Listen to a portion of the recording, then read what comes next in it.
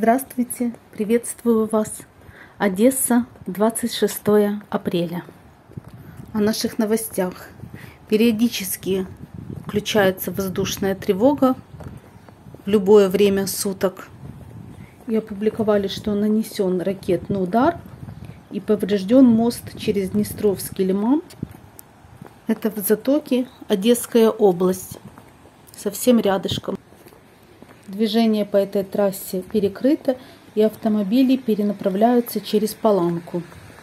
Обстоятельства и информация о пострадавших уточняется. В остальном мы сегодня проезжали через город. Очень много людей, очень много машин. Общественный транспорт заполнен. Люди работают, спешат по своим делам, делают закупки. И, в принципе, по внешнему такому состоянию настроения абсолютно не скажешь, что люди в какой-то тревоге, в беспокойстве, как я уже говорила в предыдущих видео, только при личной встрече. Мы с Максиком вышли погулять, еще друга встретили. Погода у нас сегодня чудесная, тепло.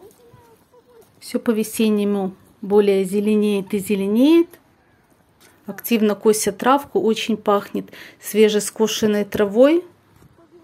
И вообще, смотря на детей и занимаясь обычными повседневными житейскими делами, обо всем забывается.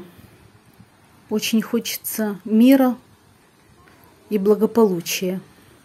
Еще в этот день, 26 апреля, 36 лет назад, произошло трагическое событие в истории Украины – Авария на Чернобыльской АЭС.